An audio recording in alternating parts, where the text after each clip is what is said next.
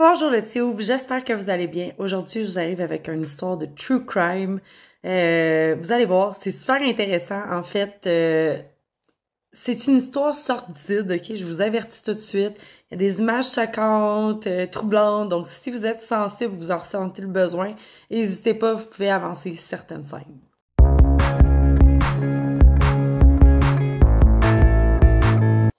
Donc, le tout commence dans la région éloignée des Laurentides. C'est un secteur qui est proche de chez moi. C'est une région très boisée avec des arbres matures. C'est un endroit qui est très froid en hiver. Vous devez être vraiment bien habillé pour pouvoir venir dans ce secteur-là. Et ça peut descendre jusqu'à moins 40, moins 45. Et aussi en été, ça peut monter jusqu'à 40-45 degrés. Fait qu'il faut vraiment aimer la chaleur. Dans cette région-là des Laurentides, il y a 45 000 cette journée-là, le corps décapité de la victime que je vais nommer par SIF, qui sont ses trois initiales, a été retrouvé dans les poubelles à côté du domicile du propriétaire.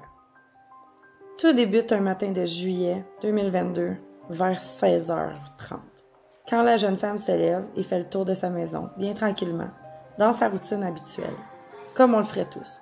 Elle va à la toilette, elle prend son thé, elle prend son petit déjeuner, son conjoint est seul dans sa chambre. Il joue aux jeux vidéo sur son cellulaire. Tout est normal à ce moment-là. Il est 7h15 quand son conjoint décide de prendre son petit déjeuner, embrasse sa conjointe et prend la voiture pour se rendre directement à l'épicerie, acheter quelque chose à manger pour ensuite aller au deuxième domicile du couple, aller effectuer certaines réparations qu'il avait déjà entamées dans le sous-sol. La jeune femme de son côté prend son bain et ensuite regarde quelques vidéos sur son Instagram juste avant d'aller se changer. C'est ce qu'elle faisait tous les jours quand elle était en congé. Elle commence sa journée bien tranquillement en faisant sa vaisselle, ramasse quelques vêtements qui avaient été laissés au sol la veille. La jeune femme a une passion pour les vidéos.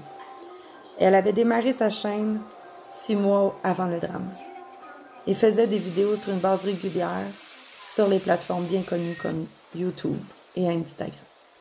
Ce matin-là n'en faisait pas exception. Sif, de son côté, n'avait pas un matin comme les autres. Après trois longues semaines en traitement, dans une chaleur accablante et deux jours consécutifs de canicule, rien n'allait plus. Comme une fois par semaine, Sif et la jeune femme se rencontraient. Elle avait rendez-vous ce jour-là en avant-midi à la maison. La jeune femme et Sif se réunissaient régulièrement autour d'une tisane et d'un petit verre d'eau. C'était leur rencontre quotidienne. La jeune femme remarqua clairement que Sif n'allait pas ce matin-là. Il faut se le dire, les semaines passées, leur rencontre était plutôt platonique. Sif était sourde, muette et aveugle. Elle vivait difficilement avec son attaque et arrivait mal à se faire comprendre par la jeune femme. Leur rencontre finissait souvent avec découragement des deux côtés. La jeune femme, ne sachant pas quoi faire pour aider Sif, se sentait autant au bout du rouleau que Sif elle-même. La jeune femme faisait beaucoup de recherches sur la maladie de Sif et comprenait que le combat serait de longue haleine pour sauver son ami.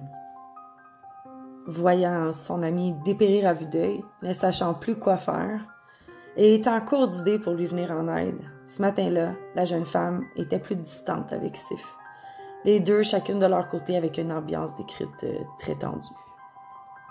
La jeune femme voulant ignorer ce moment, s'occupait plutôt de tout sauf elle, allant même jusqu'à bichonner tout le monde autour d'elle en continuant de laisser Cliff, Sif, excusez-moi, dans son coin.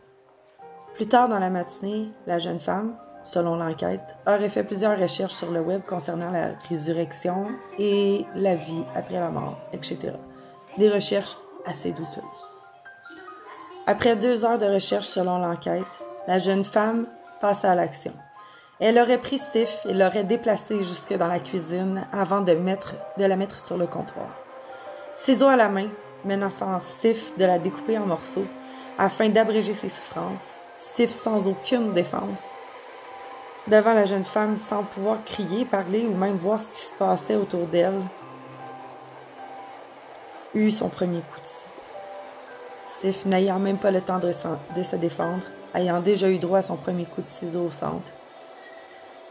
selon l'enquête, plus de quatre coups de couteau euh, de ciseaux aurait été euh, infligé à Sif. J'ai été chercher les vidéos pour euh, vous les mettre.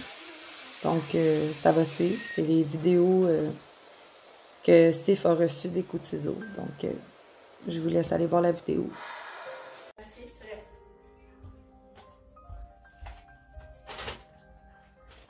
Tu finis par donner quelque chose, m'amener cette plante-là?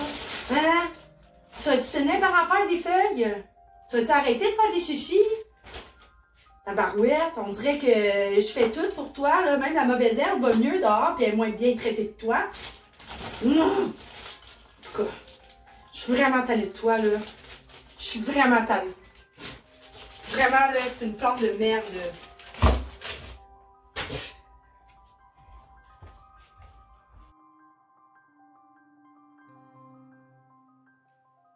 Et j'entends ce que tu me dis, Stéphanie, là. Mais écoute, j'ai fait tout, tout, tout, tout, tout pour cette plante-là. Moi, je la regarde, là, puis elle me décourage. Tout ce qu'elle sait faire, c'est des feuilles jaunes et essayer de mourir. Elle saute au-dessus elle-même. C'est une princesse next level. Là, écoute. Oui, absolument. J'y donne de l'eau distillée. Écoute, distillée, la meilleure qualité possible. OK? Madame sèche le bout des feuilles.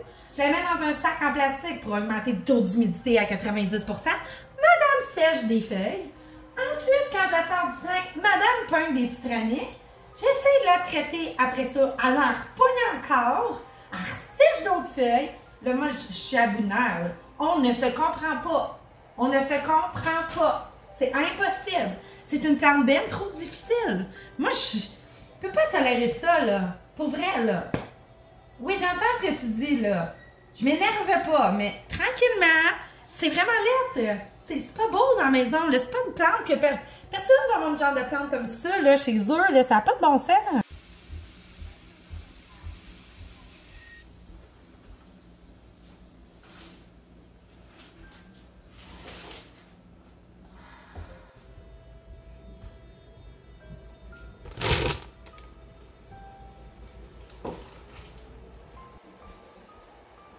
Hey, hein?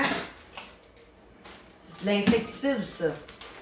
Hein? Vous comprenez les autres? Si jamais, là, vous pognez des bébites, c'est quoi qui va vous arriver, là? Exactement ce qui va y arriver à elle, là. Hein? Vous allez le faire couper. Puis toi, là, man. Oh, J'espère que t'es voué ciseaux, hein? Ça te fait-tu peur un peu? Je suis plus Sérieusement, c'est la plante la plus détruite toute la planète, genre. Ouf! Oui, oui, je vous comprends d'avoir peur. Je vais aller. Je, bon, je veux pas qu'il soit traumatisé, là. Je vais aller changer de place. Vous avez peur, les filles? Hein?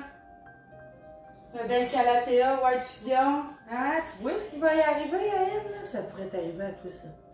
Ouais. Ouais, hein, t'as peur, hein? On va aller te cacher dans la chambre. Je dirais pas qu'elle soit traumatisée, tu sais. Hein? Faudrait surtout pas qu'elle soit traumatisée. Pis, comment qu'on se sent, les petites là, hein? Moi le fun, là! Moi le fun, hein, Calatea? Hein? Quand tu as des petits maudits bouts de brun, là, de même, là, mademoiselle, là, hey, je suis dans un environnement qui est pas une sœur, je file pas, ben là, voilà, hein? J'espère que vous avez toute peur. Puis vous voyez ce qui va vous arriver, là, si jamais vous faites des chichis, hein? Un grand coup de tech puis de ciseaux, hein? Puis ça, ça s'en va dans le compost. Fait que tenez-vous là pour dire les Calatéas, hein? Tenez-vous direct pour les prochaines semaines et peut-être même la prochaine année parce que j'aurai pas peur de tout vous couper le feuillage.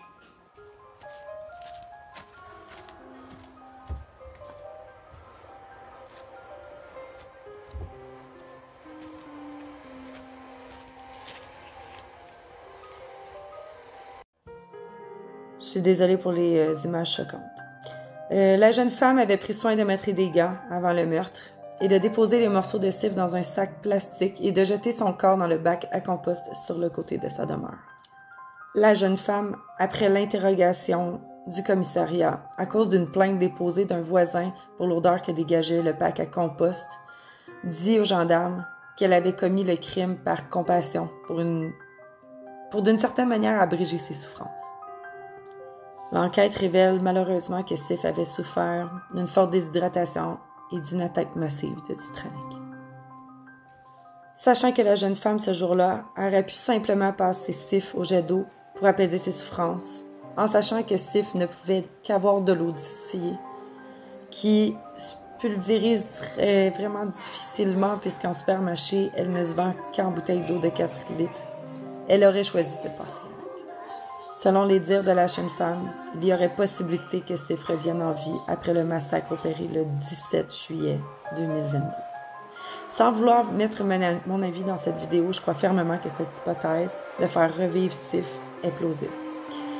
Si tu as une autre hypothèse de comment ça se serait passé le meurtre, ou si tu détiens des preuves, quelles qu'elles soient, sur cette jeune femme, n'hésite pas à le dire dans les commentaires.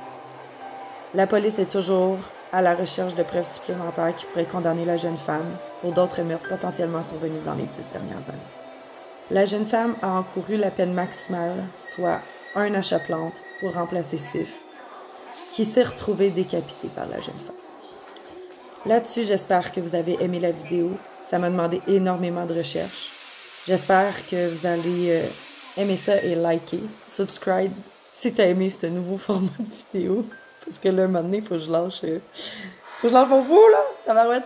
Et puis, n'hésite euh, pas à activer la petite cloche de notification. Viens m'écrire en commentaire si jamais tu as des idées de vidéos supplémentaires. Puis là-dessus, ben, je te laisse. Passe une belle semaine. Puis on se revoit bientôt. Bye, YouTube!